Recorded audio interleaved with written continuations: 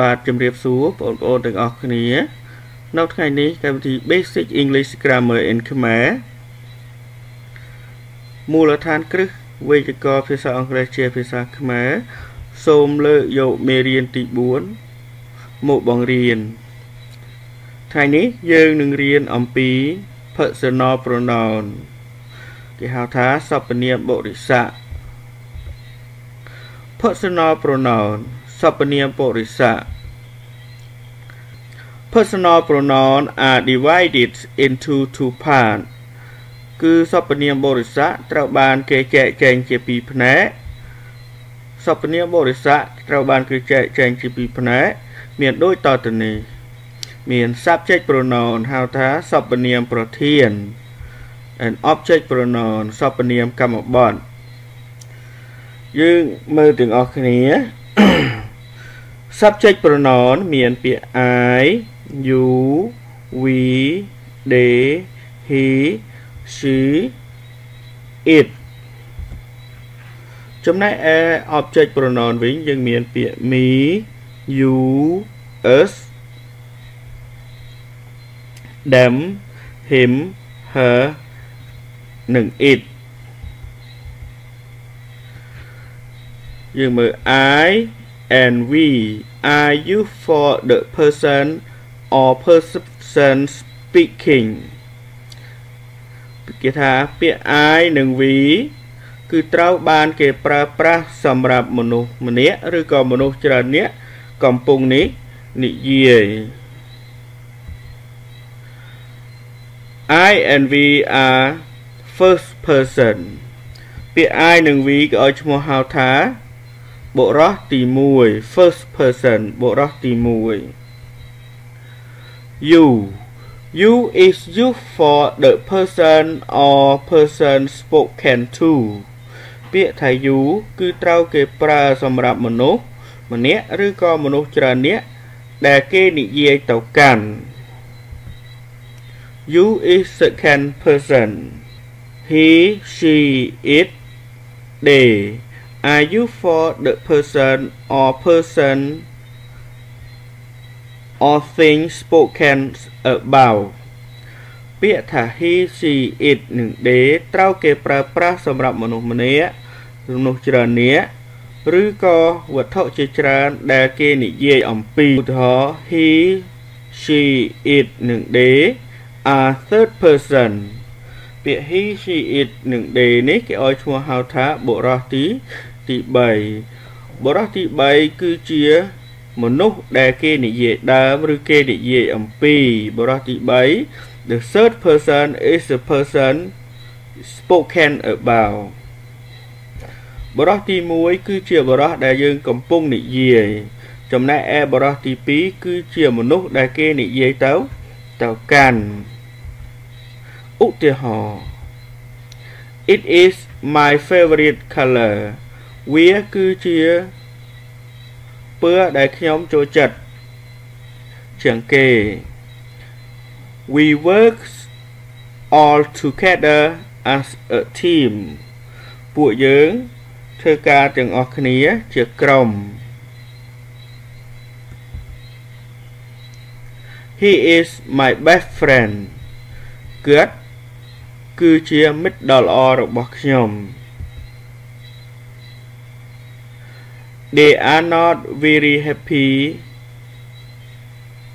about what happened ពួកគេមិនសប្បាយចិត្តអំពីអ្វីដែលបានកើតឡើងនោះទេ I like you but you don't like me ខ្ញុំចូលចិត្តអ្នកឯងប៉ុន្តែអ្នកឯងមិនចូលចិត្តខ្ញុំទេ She loves sitting next to him នាងចង់អង្គុយជិតគាត់ She's always write email to me នាងតែងតែសរសេរអ៊ីមែលមកកាន់មកកាន់យើង she's always writes email to us he is talking to her about it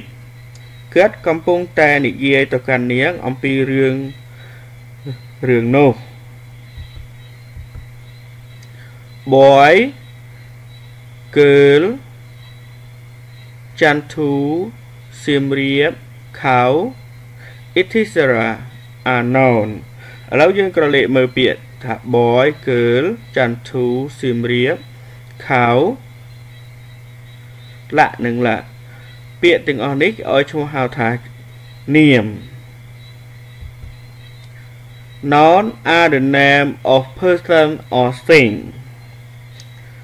នាមគឺវាសំដែងនៅឈ្មោះមនុស្សសត្វបាទ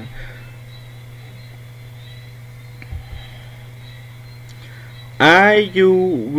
D he she it etc etc are pronoun ចំណែកឯពាក្យថា I U V they he she it គឺជាសព្វនាមដូចម្ដេចដែលហៅថាសព្វនាម pronoun is taking place of noun សព្វនាម គឺយើងប្រើជំនួសកន្សោមនាមឧទាហរណ៍ កន្សោមនាមថា Chantu come here ដល់ពេលទៅជាសព្វនាមគឺយើងប្រើសព្វនាម C ជំនួសឲ្យពាក្យថា Chantu អឬក៏យើងអាចនិយាយបានថា she came here the boy is sitting or is in the classroom ក្មេងប្រុសកំពុងតែនៅក្នុងថ្នាក់រៀនឬក៏យើងអាចប្រើជាសព្វនាមជំនួស ពាក្យថាក្មេងប្រុស the boy គឺយើងប្រើ he he is in the classroom the cows are in the field គោជាច្រើននៅក្នុងស្រែយើងប្រើសព្វនាមជំនួសវាគឺយើងប្រើ they are in the field ពួកគេគឺនៅក្នុងវាវាស្រែចំណាំ object pronoun is used instead of object noun ត្រូវចាំថាសព្វនាមកម្មបត្តិគឺយើងសម្រាប់ប្រើជំនួសកន្សោមនាមកម្មកម្មបត្តិឧទាហរណ៍ she is my friend នាងគឺជាមិត្តរបស់ខ្ញុំ I really enjoy being with her ដូច្នេះយើងប្រើកន្សោមនាម my friend ដូចកន្សោមនាមគឺ my friend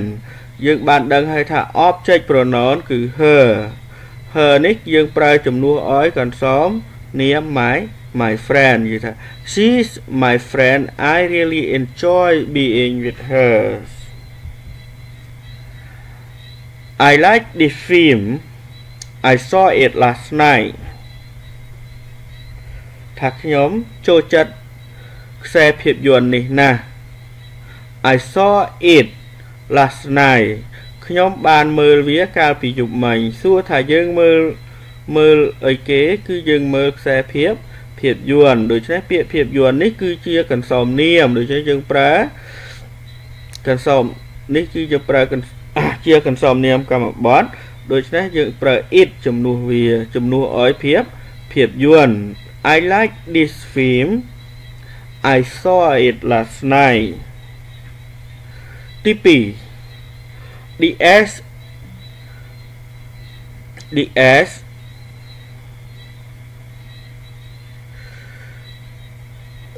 with the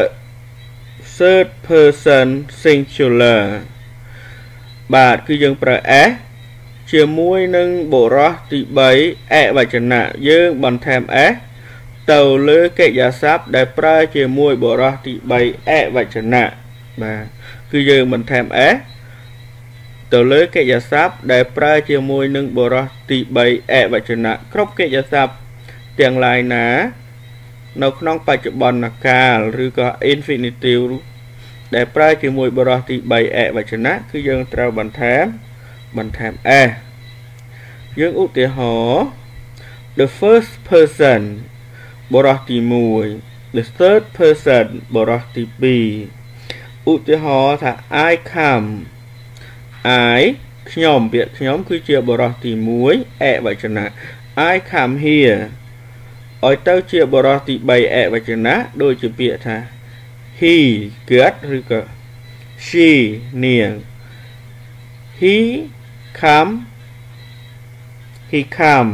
ដូច្នេះគ្រប់កិរិយាសព្ទដែលប្រើជាមួយបរិសទី3អវចនៈយើងបន្ថែម s she come I speak he ឬក៏ she speak ខ្ញុំនិយាយគាត់ឬនាងនិយាយ I work ខ្ញុំធ្វើការ he works គាត់ធ្វើការ she work នាងធ្វើការ I thanks I thank ខ្ញុំអរគុណ he thanks គាត់អរគុណ she thanks នាងអរគុណបាទយើងមើលទី3មិញយើងបានដឹងហើយថាគ្រប់ កិច្ចសព្ទដែលប្រើជាមួយបរិសទី3អវចនៈយើងត្រូវបន្ថែម s